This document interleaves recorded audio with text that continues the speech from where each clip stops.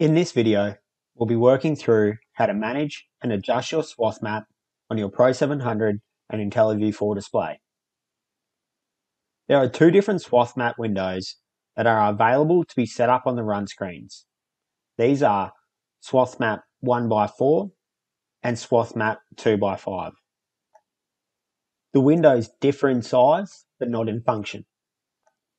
Specific vehicle software allows the operator to place a swath map 1x4 window in the left hand area as shown in this video. When the swath map 1x4 window is in the left hand area and is also set up on a run screen, the left hand map will only be shown. When the swath map 1x4 window is in the left hand area and the swath map 2x5 window is on the run screen, the run screen has priority. When the run screen with a larger map is viewed, the map only displays on the run screen.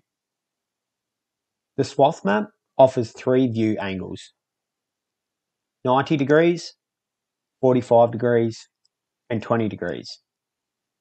To adjust the view, press the View Angle button on the map window to access the pop-up options window.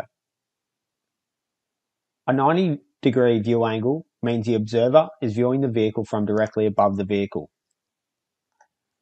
45 degree angle means the observer is viewing the vehicle at a 45 degree downward angle towards the horizon. A 20 degree view means the observer is viewing the vehicle at a 20 degree downward angle towards the horizon.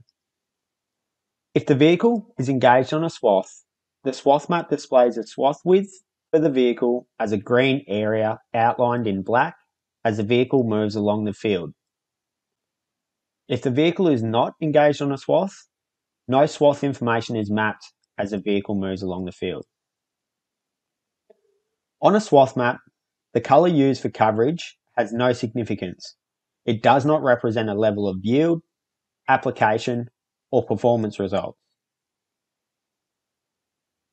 If a recorded swath is selected for the field, a red line represents a current swath, and the blue lines represent the swaths on either side.